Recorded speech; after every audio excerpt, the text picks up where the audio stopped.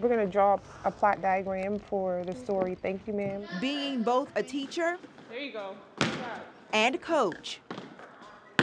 It's a full-time job, but someone's got to do it. And when it comes to Natasha Thurmon, she does it well. So after he tried to snatch her purse, what is something else that occurred? Thurmon is both an English teacher and coach at Franklin Square Elementary Middle School. Just last year, launching the program, Mindful Mentors Planting Seeds, which focuses solely on student athletes. I started um, coaching and I noticed that my student athletes, some of them were becoming ineligible after the uh, grades were released.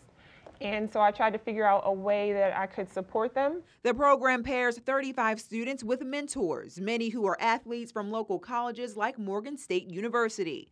Mentors help guide the students on and off the court. There's also a mandatory study so hall twice a week for students who need a little extra support. I can always talk to her and I can ask her anything and I feel comfortable around her and Miss Thurmon to say anything and if I need help with any of my work and I'm just scared to ask anybody, I can always ask her or Miss Thurmon. If I didn't have this program, then my basketball level would be very low and I wouldn't be able to even dribble a basketball and I wouldn't be able to um, passed the MSA. Last summer, Thurmon offered a summer camp. Students spent part of their time studying and part honing their skills on the basketball court. And the results were great. Overall, students were able to increase or maintain their GPAs, and the team is currently undefeated.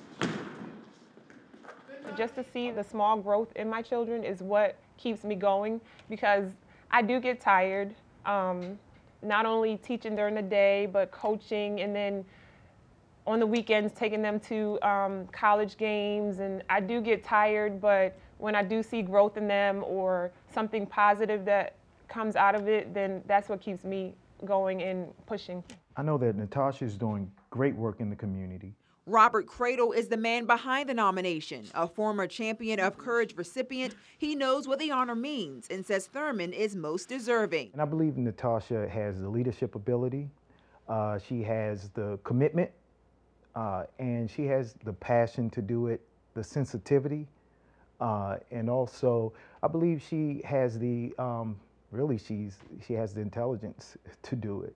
Cradle has headed several programs and participated in many others. He says Thurmon's unique take on helping student athletes is one of a kind, and her dedication is sure to affect the future. I believe it sends a message that, that they can do something of the same, um, that they can, they should invest in the people behind them, younger children.